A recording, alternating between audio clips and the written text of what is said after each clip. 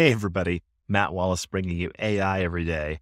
So I have to tell you, when I started this, I didn't expect it to be quite like shooting fish in a barrel the way that it is. But today, I'm happy to say I have some really exciting news to talk about. And I'm going to try to break down for you the announcement OpenAI made, where they have announced a plugin architecture for ChatGPT. This allows ChatGPT to directly interact with external services. So for anyone who's played with ChatGPT, you can literally ask it anything. You can ask it to um, give you Valentine's Day gift ideas. You can ask it to write you code to implement a binary tree rebalancing algorithm. Whatever you imagine, it can take a pretty good crack at it. The limitation that ChatGPT had is it lived in a world of its own. You interacted with it, it was based on the training of the model, and it couldn't do anything that touched outside of that model. Today's announcement means that ChatGPT will be able to reach out to external services and actually use the context of that information in responding to the user. And I'm going to read to you directly from the OpenAI docs for this feature because it's super simple. Plugins can allow ChatGPT to do things like retrieve real time information like sports scores, stock prices, and the latest news, retrieve knowledge base information like company documents or personal information, or perform actions on behalf of a user like booking a flight or ordering food.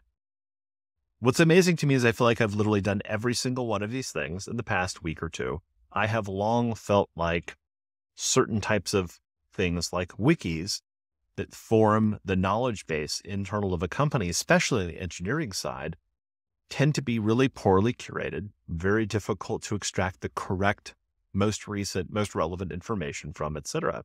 And I feel like it's going to be really interesting to see how ChatGPT changes the game here.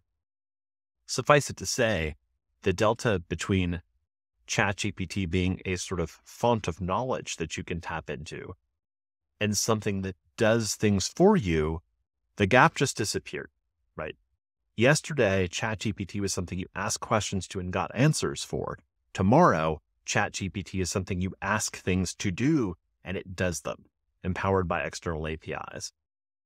It's interesting too, because I've been a, a fan of APIs for 10 years, uh, you know, all the way from like studying things like Twilio and how quickly time to first hello world impacted developers to kind of understanding things like API economics and monetization. And it's a really fascinating thing to think about how much of the current horsepower of all the services on the internet are powered by APIs. And the idea that you can plug something as powerful as ChatGPT now into all those APIs to get things done is mind blowing.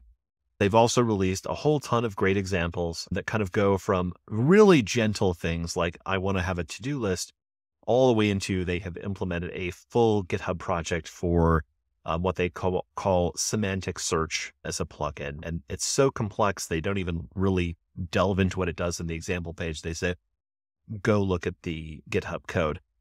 Right about now, you should be seeing this pop up on your screen. I'm just going to show you kind of a view of the GitHub page. So it's incredibly well thought out. My hat is off to the OpenAI team because I really would have expected something more in the vein of a fine tuning architecture for ChatGPT 3.5 and 4, because the fine tuning API at OpenAI, which is available for some of the other models, isn't available for ChatGPT 3.5 Turbo and GPT-4 yet.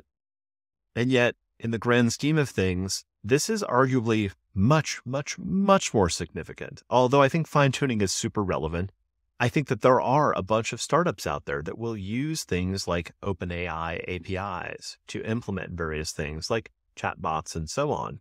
And I think they are eager to see a fine tuning API.